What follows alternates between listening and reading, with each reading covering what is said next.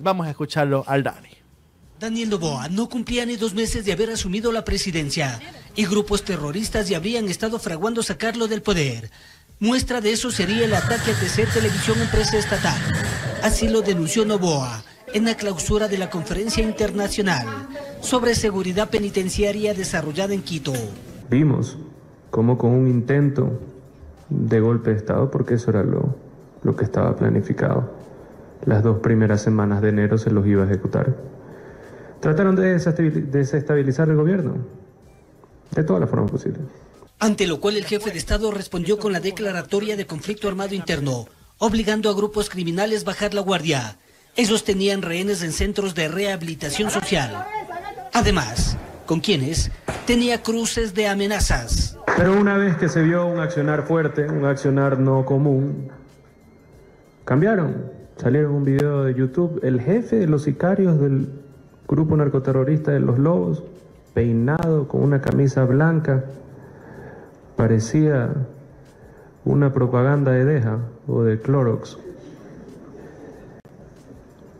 Hablando del Tratado de Ginebra, hablando de, los derechos humanos, teniendo 40 renes ahí adentro y controlando él 60 sicarios, le decían palanqueta.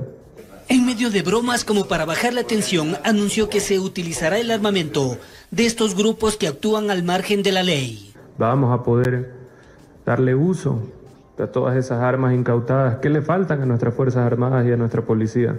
Vamos a poder usar ese dinero, mucho de ello, en banca privada nacional, para nuestros programas sociales, para dar educación, para dar salud, para prestar servicios, para tener infraestructura que también genere empleo. Pero eso es fundamental a la distinción de dominio. La droga la vamos a quemar, esa sí no la vamos a usar. Justificando el por qué la ampliación del estado de excepción. No porque quiero, es necesario. Fue una decisión muy dura porque también necesitamos levantar el turismo, levantar pues eh, la economía y eso pues vamos a mejorar, eso sí, los horarios, el toque de queda. Diana Salazar, fiscal general del Estado, no quiso dejar pasar por alto el apoyo del primer mandatario. Y también felicitar su decisión de enfrentar al crimen organizado como tiene que ser. Así con la presencia de delegados internacionales se analizó cómo se enfrenta la inseguridad en el país. Informó Héctor Romero, Daniel Novoa. Acaba de llegar una revelación a mí, muchachos una revelación impactante. Eh, Daniel Novoa, para los que han visto Dune 2, para los que han leído Dune, Daniel Novoa es el elegido. es Lisan Al-Gaib. The only one. y, y Diana Salazar es Zendaya, muchachos. Me acabo de dar cuenta, me acabo de dar cuenta, es increíble el parecido el tipo llegó a Rakis. Te van a sacar en eh, te van a sacar en las cuentas de TikTok de ADN, por decir Excelente, pero maravilloso. esto es, esto es bueno. Esto es bueno. Tenemos al elegido. Lisan al Gaib.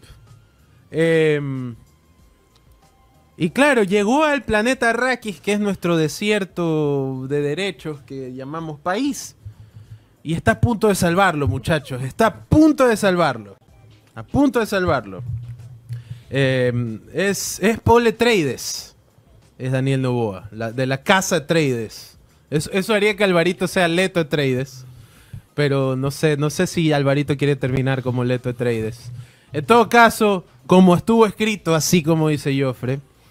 Así es. Este. en todo caso. En todo caso. Un buen futuro nos espera ¿Quién es Stilgar? Bueno, en este caso Stilgar sería yo, que estoy viendo que él es el Lisan El Gaib en todos lados, ¿no?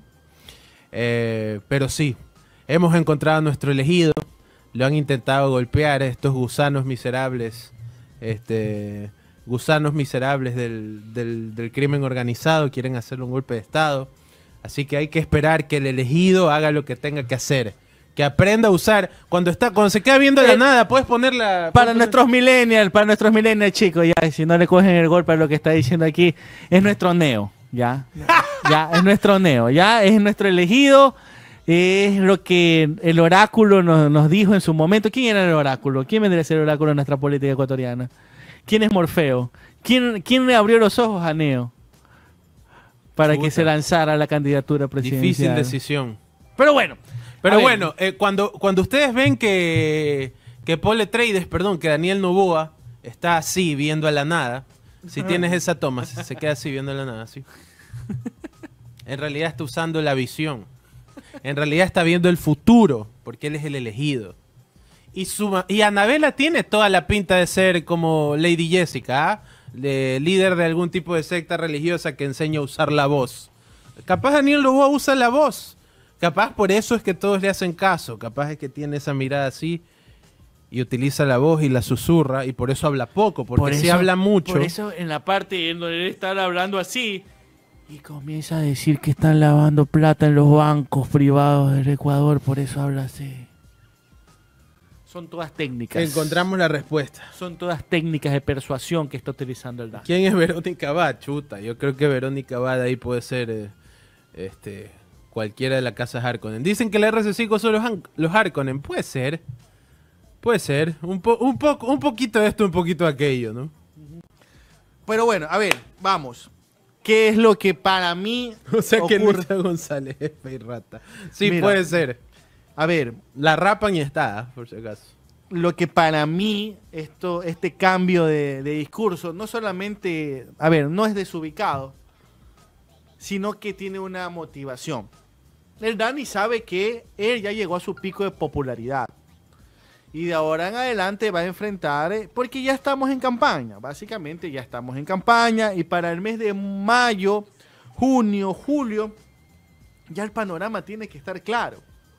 Mira, ya ahorita ya tenemos algunos precandidatos en lista, ¿no es verdad? Tenemos a Rabascal, tenemos a Leonidas Sisa, tenemos a Pedro Granja, tenemos a Cristina Reyes, Ah, Cristina tenemos, Reyes anunció. tenemos a Jan Topic, tenemos a ahí Cucalón que está viendo, si sí, si sí, no, si sí, ja, jeje, oje, ah. Este, habrá que ver a quién eh, lanza, construye. Vemos a una Andrea González también que está. Entonces, entonces, a ver, entonces el Dani ya no va a tener esta armonía, eh, este, este ambiente de culto de domingo con el resto de, de partidos políticos, ¿no? Ya va a haber algunas voces que decir, oye, esto está mal, eh, estás matando a la gente, estás explotando a la gente, ya se viene el IVA, ya se viene la firma del tratado, tratado, más que tratado, del acuerdo con el Fondo Monetario Internacional, lo cual conlleva a nuevas medidas de ajuste que a la larga será lo de las gasolinas y serán otros temas. Entonces va a ser un- van a ser momentos complicados. Obviamente, los, los a ver, si el Dani consigue 3 mil millones de dólares con el Fondo Monetario, lo cual sería llevar nuestra deuda con el Fondo Monetario a casi 10 mil millones de dólares, no es que los 3 mil millones los va a recibir de golpe. Supongo que ha de ser un primer desembolso de 700, de ahí un desembolso de 800, de ahí un desembolso, siempre y cuando vayas cumpliendo todas las exigencias del Fondo Monetario, como siempre es.